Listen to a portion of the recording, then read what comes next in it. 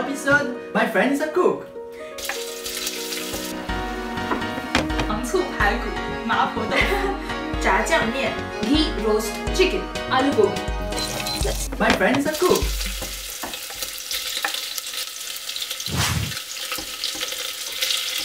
Hi everyone, my name is Celine. This is C.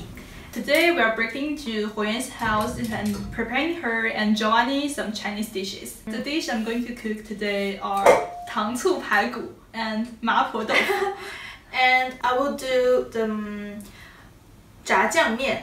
I don't know how to say that in English, so mian in Chinese. I'm going to cook the meat now. The first thing you do is to heat your pot and then put some oil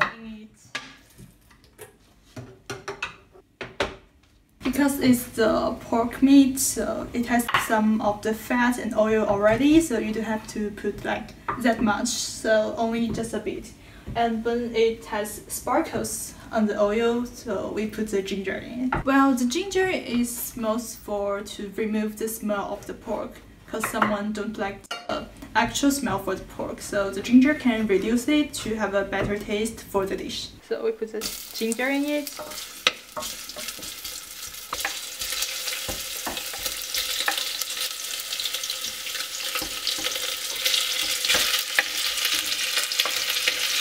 First, you have to make the brief already well cooked, and then we add vinegar, sugar, and soy sauce.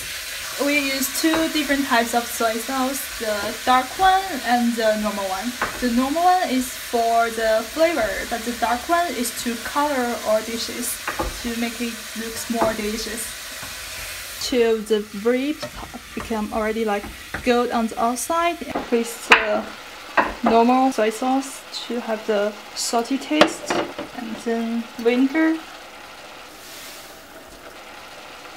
dark soy sauce to add the color for our dishes. When the color is even, we'll add the water all over the rib. After we put the water in it, we just wait for it to be steaming and make, wait for the sauce to be caramelized. And during this process, you have to keep stirring it evenly, just in case all the meat stay in the bottom of the pot. And after that, our dish is, is done. Why you choose to um, to do this dish?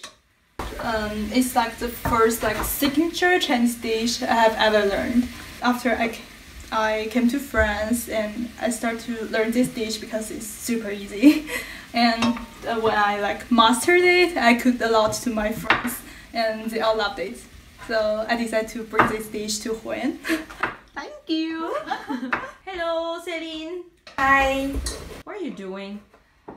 I'm cutting all the vegetables. It's okay. it's um part of preparation for my noodles. 炸酱面 in Chinese. And in English? Sorry about that. I don't know how to say that in English. And in French? Later, for the preparation of jjajangmyeon, we need cucumber, carrot, some eggs, and um, brown beans like this. You can find it easily in the um, Asian market. And then the sauce, the most important thing is sweet bean paste like this.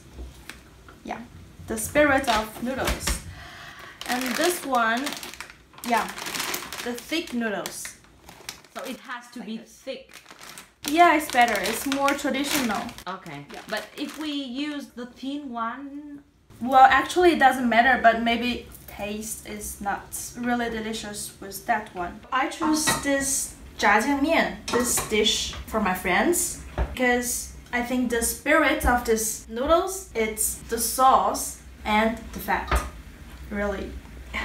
because I add uh, some pork inside with the sauce and when we mix the sauce and meat and noodles together and some vegetables. Yeah, interesting and delicious. This jjiajangmian, this noodles, it's well the easiest one among the Chinese dishes. It's really easy. So you just have try this weekend maybe. What I'm going to do is add some water into the eggs.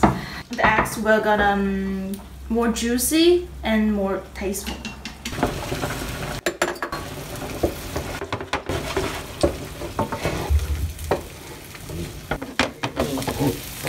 Only the carrots need to be boiled because it's hard.